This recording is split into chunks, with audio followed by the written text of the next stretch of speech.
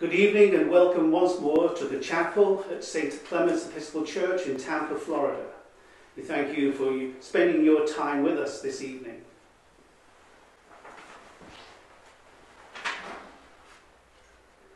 Bless the Lord who forgives all our sins. His, His mercy, mercy endures forever. Let us confess our sins against God and our neighbour.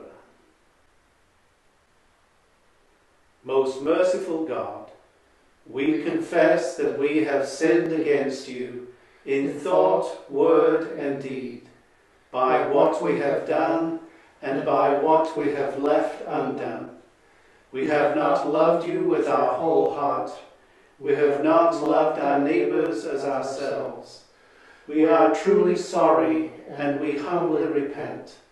For the sake of your Son, Jesus Christ, have mercy on us and forgive us, that we may delight in your will and walk in your ways to the glory of your name. Amen. Almighty God forgives all who truly repent. Have mercy upon you pardon and deliver you from all your sins, confirm and strengthen you in all goodness, and bring you to everlasting life through Jesus Christ our Lord. Amen. Lord, have mercy. Christ, have mercy. Lord, have mercy. The Lord be with you. And also with you. Let us pray. O God, by the passion of your blessed Son, you made an instrument of shameful death to be for us the means of life. Grant us so to glory in the cross of Christ that we may gladly suffer shame and loss for the sake of your Son, our Saviour, Jesus Christ, who lives and reigns with you and the Holy Spirit, one God, forever and ever. Amen. Amen.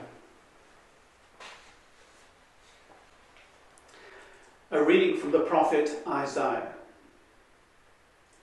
Listen to me, O coastlands. Pay attention, you peoples from far away. The Lord called me before I was born. While I was in my mother's womb, he named me. He made my mouth like a sharp sword. In the shadow of his hand, he hid me. He made me a polished arrow. In his quiver, he hid me away. And he said to me, You are my servant Israel, in whom I will be glorified. But I said, I have labored in vain. I have spent my strength for nothing and vanity. Yet surely my cause is with the Lord, and my reward with my God. As now the Lord says, who formed me in the womb to be his servant, to bring Jacob back to him, and that Israel might be gathered to him. For I am honored in the sight of the Lord, and my God has become my strength.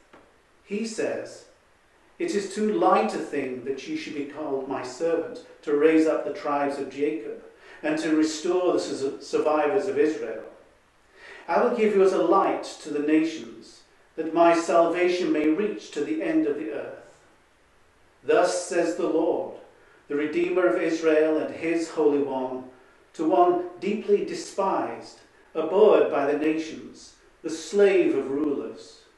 Kings shall see and stand up, princes, and they shall prostrate themselves, because of the Lord who is faithful, the Holy One of Israel, who has chosen you.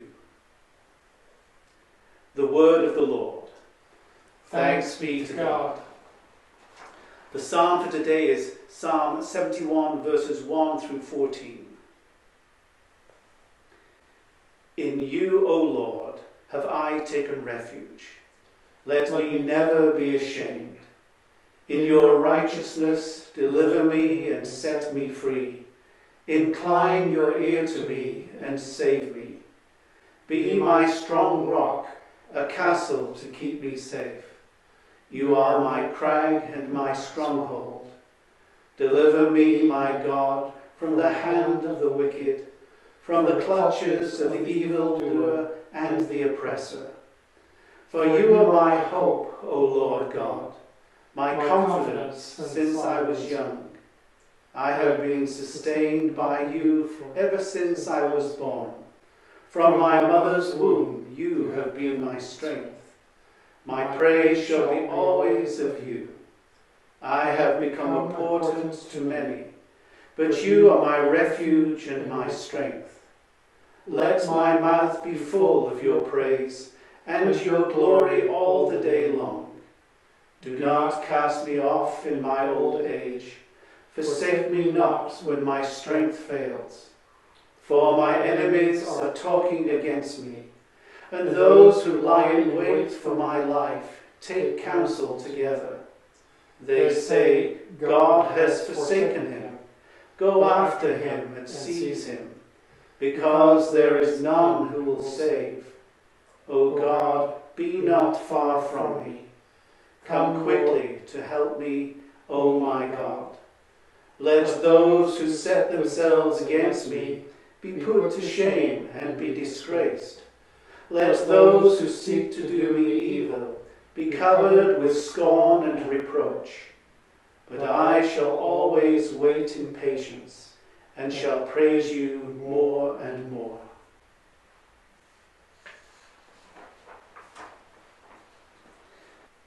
A reading from St. Paul's first letter to the Corinthians. The message about the cross is foolishness to those who are perishing, but to us who are being saved, it is the power of God. For it is written, I will destroy the wisdom of the wise, and the discernment of the discerning I will thwart. Where is the one who is wise? Where is the scribe? Where is the debater of this age? Has not God made foolish the wisdom of the world? For since in the wisdom of God the world did not know God through wisdom, God decided through the foolishness of our proclamation to save those who believe. For Jews demand signs and Greeks desire wisdom, but we proclaim Christ crucified, a stumbling block to Jews and foolishness to Gentiles. But to those who are called, both Jews and Greeks, Christ, the power of God and the wisdom of God. For God's foolishness is wiser than human wisdom, and God's weakness is stronger than human strength. Consider your own call, brothers and sisters. Not many of you were wise by human standards, not many were powerful, not many were of noble birth. But God chose what is foolish in the world to shame the wise. God chose what is weak in the world to shame the strong. God chose what is low and despised in the world, things that are not, to reduce to nothing things that are, so that no one might boast in the presence of God. He is the source of your life in Christ Jesus, who became for us wisdom from God and righteousness and sanctification and redemption, in order that, as it is written, let the one who boasts boast in the Lord.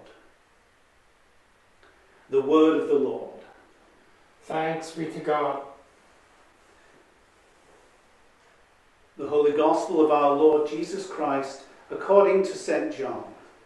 Glory to you, Lord Christ. Now, among those who went up to worship at the festival were some Greeks. They came to Philip, who was from Bethsaida in Galilee, and said to him, Sir, we wish to see Jesus. Philip went and told Andrew. Then Andrew and Philip went and told Jesus. Jesus answered them, The hour has come for the Son of Man to be glorified. Very truly I tell you, unless a grain of wheat falls into the earth and dies, it remains just a single grain. But if it dies, it bears much fruit. Those who love their life lose it, and those who hate their life for this world will keep it for eternal life. Whoever serves me must follow me, and where I am, there will my servant be also. Whoever serves me, the Father will honor. Now my soul is troubled. And what should I say? Father, save me from this hour? No, it is for this reason that I have come into this hour. Father, glorify your name. Then a voice came from heaven. I have glorified it, and I will glorify it again. The crowd standing there heard it and said that it was thunder. Others said, an angel has spoken to him. Jesus answered, This voice has come for your sake, not for mine. Now is the judgment of this world. Now the ruler of this world will be driven out. And I, when I am lifted up from the earth, will draw all people to myself. He said this to indicate the kind of death he was to die. The crowd answered him, We have heard from the law that the Messiah remains forever. How can you say that the Son of Man must be lifted up? Who is this Son of Man? Jesus said to them, The light is with you for a little longer. Walk while you have the light, so that the darkness may not overtake you. If you walk in the darkness, you do not know where you are going.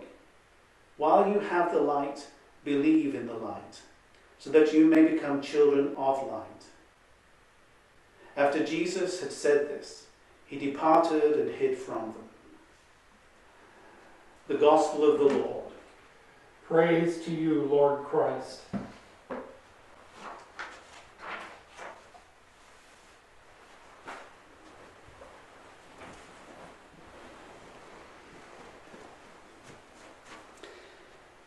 I remember the very first time I saw a Vulcan. I'd gone down to Manchester in England to go to the guitar shop I used to get guitar strings from, and as I made my way from the bus station, I saw a Vulcan. And then I saw a Klingon. And then I saw people in Star Trek uniforms. Welcome to the world of Comic Con. The first one I'd ever seen in England, and the very first time I'd seen people dressed up in proper uniforms to emulate their fans. Or sorry, more to emulate the people of whom they were fans. Of course, people who get into this kind of thing do it for the fun of it. They really enjoy the programs and the characters. But some take it more seriously than others. There are, are people who know word for word the script of the movies of Star Wars. And if you just mention something, they'll say, oh no, that's wrong. It's actually this. And they are right. They take all the time that they need to, to learn about the characters and the parts of space they're in, the machines and the spaceships that are used, everything about it. They are fanatics, rightly called. In today's gospel, we have some Greeks coming up, and they say to Philip, and then through Philip to Philip and Andrew, we want to see Jesus. What was it about Jesus that they'd heard? Maybe the miracles? Maybe it was the triumphal entry where people were saying Hosanna and Hosanna. Who knows? But there was something about Jesus that made people want to come and see him. And thus it's been for over 2,000 years. People want to see Jesus. But if we notice, Jesus doesn't say, oh, God, this is really cool. Not only am I getting people who are Jewish listening to me, the Greeks are doing it as well. No. He goes all strange and starts talking about the end of days and my time has come and things will be fulfilled. What is the link? Well, because there's more to Jesus than just to see him. To know Jesus is to be as fanatical as those people who watch Star Wars and Star Trek and whatever film is around or TV shows around that people really get involved with. We have to be as fanatical as those who love NASCAR and football and baseball and all the other sports, that we know all the statistics about each individual player. We have to get inside, not only to see Jesus, but to know him. And then not only to know him, but to believe in him and to live as he would want us to live. That's been a tall order for the church for the 2,000 years because we've hardly ever done it correctly. And so when people come to see us nowadays, we get called all sorts of things, one of them being hypocrite. And yes, we are. Because none of us truly follows Jesus enough to warrant the real name of Christian. None of us takes the time enough to find out who Jesus really is and take him seriously at his word and live as he would want us to live. But we do our best, some more than others. We spend our time reading scriptures, learning about Jesus. We spend our time being around those people who influence us. Now, there's a word. If you go on YouTube, you'll see any number of influences, which I think means that because you like them, you're likely to buy the stuff they want to sell you. How many Christian influencers are there? How many do we know? How many live a life that we look at and think, wow, I want to be like that person? What's their secret? Because one thing we do know about Jesus is he attracted people to him, and people were willing to die for him. May we all grow in faith this Holy Week, that we may not just wish to see Jesus, but to allow Jesus to come into our lives in a real, meaningful way. That when people see us, they will want to know what the secret is. In the name of the Father, and of the Son, and of the Holy Spirit. Amen.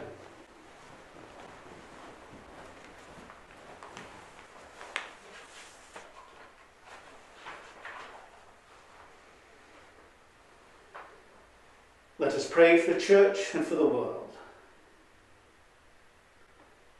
Grant, Almighty God, that all who confess your name may be united in your truth, live together in your love, and reveal your glory in the world. Lord, in your mercy, hear our prayer. Guide the people of this land and of all the nations in the ways of justice and peace, that we may honour one another and serve the common good. Lord, in your mercy, Hear, Hear our prayer. Give us all a reverence for the earth as your own creation, that we may use its resources rightly in the service of others and to your honour and glory. Lord, in your mercy, hear our prayer. Bless all whose lives are closely linked with ours, and grant that we may, may serve Christ in them and love one another as he loves us. Lord, in your mercy, Hear our prayer. Comfort and heal all those who suffer in body, mind, or spirit. Give them courage and hope in their troubles, and bring them the joy of your salvation. Lord, in your mercy, Hear our prayer.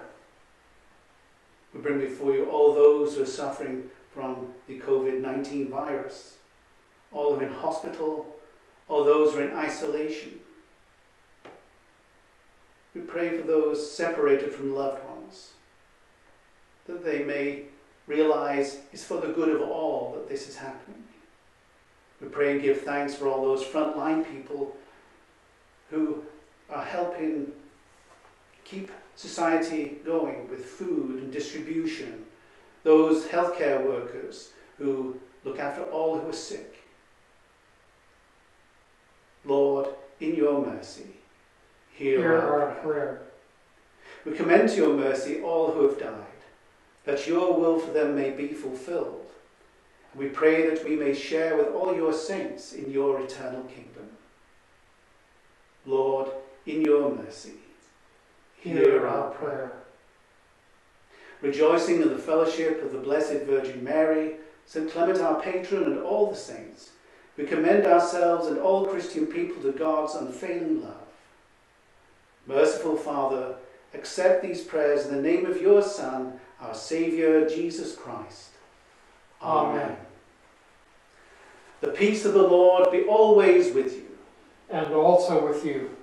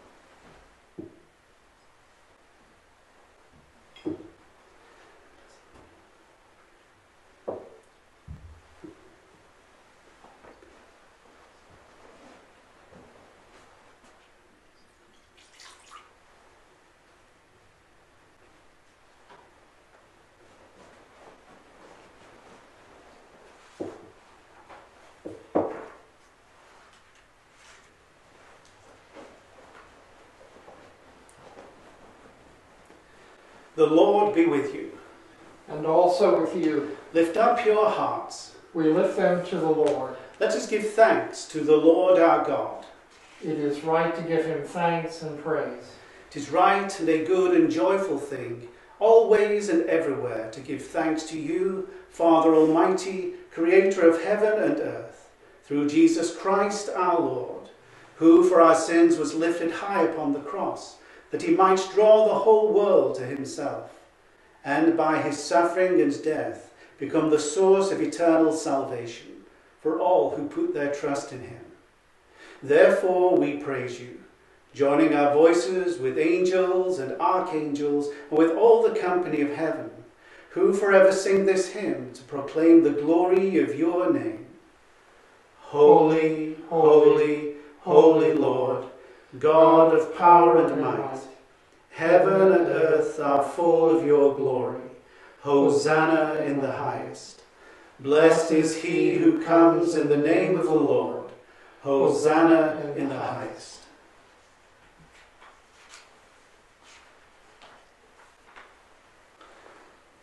Holy and gracious Father, in your infinite love, you made us for yourself. And when we had fallen into sin, become subjects to evil and death, you in your mercy sent Jesus Christ, your only and eternal Son, to share our human nature, to live and die as one of us, to reconcile us to you, the God and Father of all.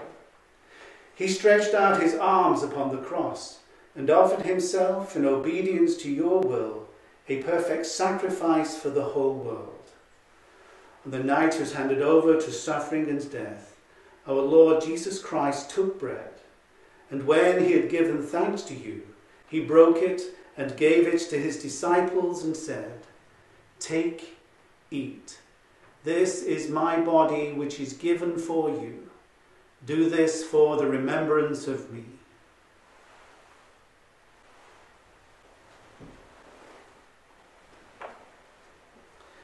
After supper, he took the cup of wine, and when he had given thanks, he gave it to them and said, Drink this, all of you. This is my blood of the new covenant, which is shed for you and for many for the forgiveness of sins. Whenever you drink it, do this for the remembrance of me.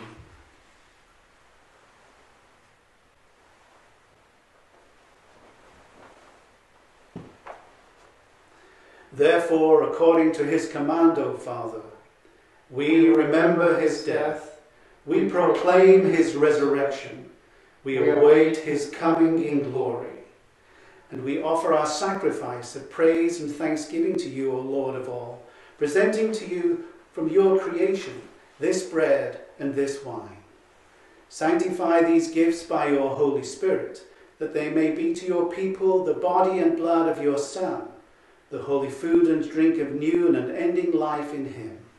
Sanctify us also, that we may faithfully receive this holy sacrament and serve you in unity, constancy, and peace. And at the last day bring us with all your saints into the joy of your eternal kingdom. All this we ask through your Son, Jesus Christ. By him and with him and in him, in the unity of the Holy Spirit, Oh, all honour and glory is yours, Almighty Father, now and forever. Amen. Amen. And now, as our Saviour Christ has taught us, we are bold to say, Our Father, who art in heaven, hallowed be thy name. Thy kingdom come, thy will be done, on earth as it is in heaven. Give us this day our daily bread, and forgive us our trespasses as we forgive those who trespass against us. And lead us not into temptation, but deliver us from evil. Thine is the kingdom, and the power, and the glory, forever and ever. Amen.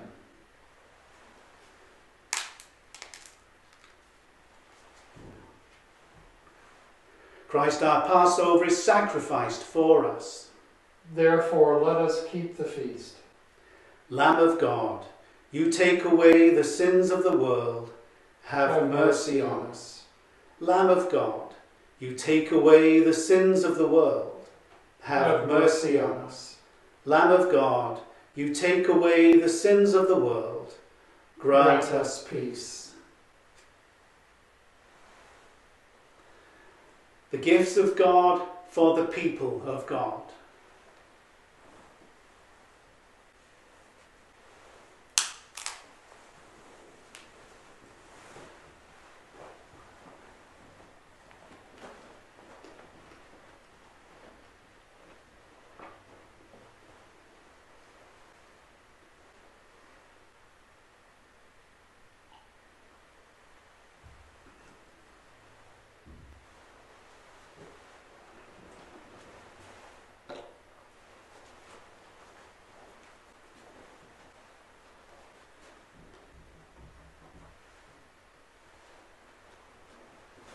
The body Christ keep you to eternal life. Amen.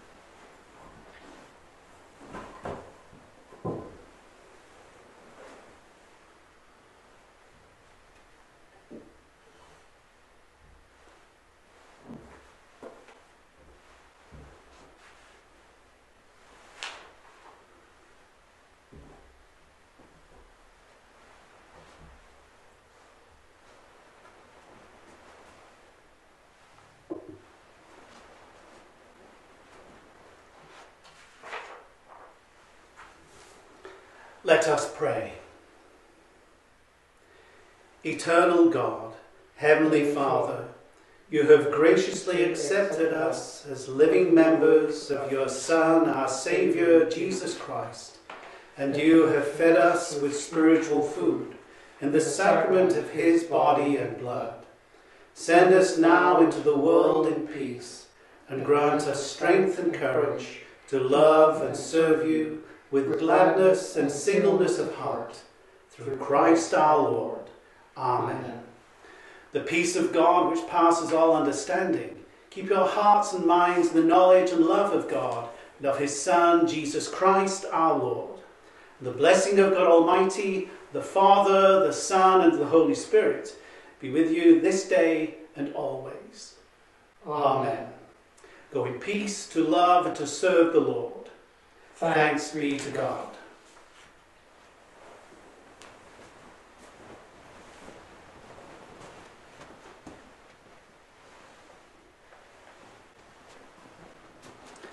Thank you for spending time with us. I do hope you've enjoyed this sharing of worship. Please join us again tomorrow at the same time. In the meantime, stay safe and God bless.